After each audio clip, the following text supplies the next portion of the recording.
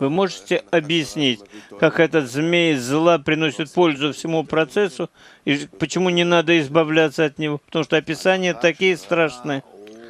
Змей, э, вот это воплощение зла, помогает нам выстроить себя. Если бы не он, мы никогда бы не вознуждались в исправлениях, не пробудились бы.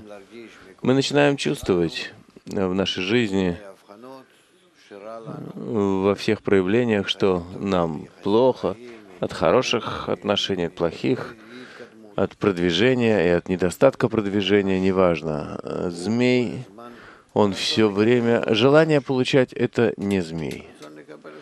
Желание получать — это просто желание получать. И если он показывает человеку, что он не дает ему продвигаться к цели, к правильной цели, то то желание, которое не дает мне продвигаться, его я называю злым началом, змеем.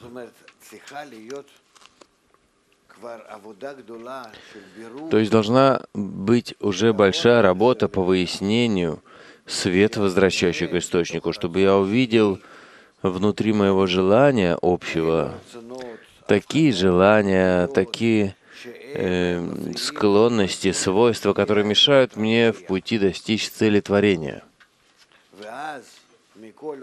И тогда из всех тех желаний, из всего этого объема, который находится во мне, те желания, которые раскрываются мне как помехи в достижении слияния с Творцом, если я их знаю, чувствую, если я определяю, что они именно мешают мне в этом, они называются змеем зла. Ты понимаешь?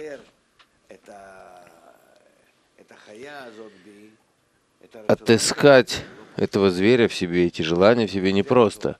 Когда я нахожу его, это действительно слава Богу, что я нашел эти помехи.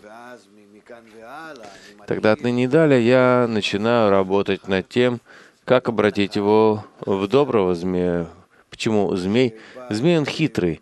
Он приходит и скрытой силой, так изнутри, он тебя э, как бы э, сбивает, э, направляет на хорошие вещи, но это выходит ради получения. Он говорит, тебе сделай, сделай. Это как он сказал Еве, ты сделай, ты увидишь, насколько это хорошо, Творец этого хочет, и так далее. Тебе это кажется, а потом это все падает в ради получения.